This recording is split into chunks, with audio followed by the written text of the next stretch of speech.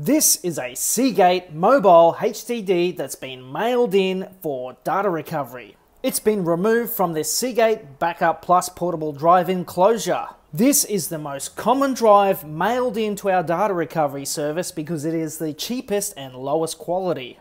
This Seagate drive has a firmware problem and I'm going to show you how I recover the data. The drive gives us the full and correct ID but without the capacity and it also gives us access to the firmware. We get a problem with the translator on 2B, translator on system file 28.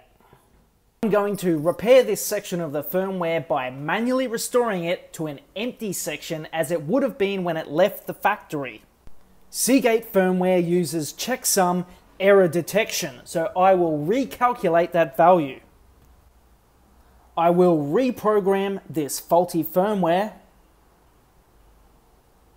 and a quick test to confirm it's working.